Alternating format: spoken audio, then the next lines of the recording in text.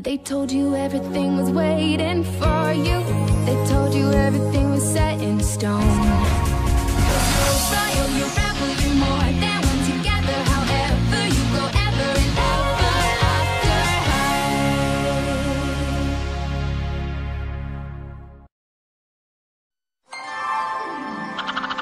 Lusternet! Nie działa! Nie mogę nic wrzucić na swojego bajkobooka.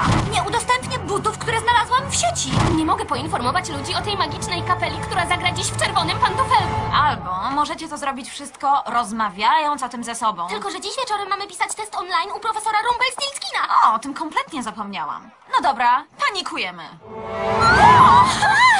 To tak, jakby ktoś wykorzystał całe łącze. E, musimy odkryć kto. Humphrey, zostań tu i sprawdź te kable, a my przeszukamy szkołę.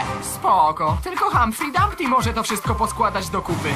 933, 934. Daring, czy ty używasz lusternetu? Jasne, że tak. Ładuję kilka tysięcy moich fotek z ostatniej sesji.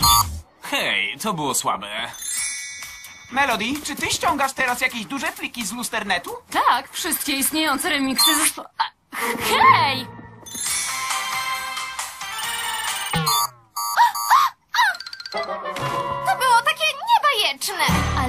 Jest ciągle wolny jak stary troll. Zostały nam już tylko dwie godziny do naszego sprawdzianu online.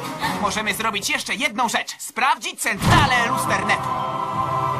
Zaraz się dowiemy, co tak naprawdę.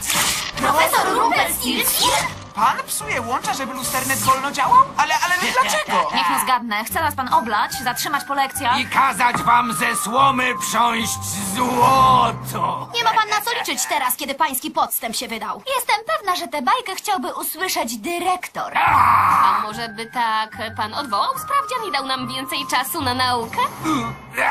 Dobra! I żeby zło zostało ukarane, to pan naprawi szkody, które zostały wyrządzone. O, nie rozczula się tak nad sobą, profesorku.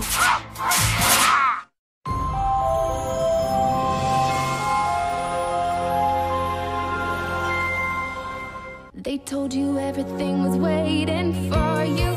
They told you everything was set in stone.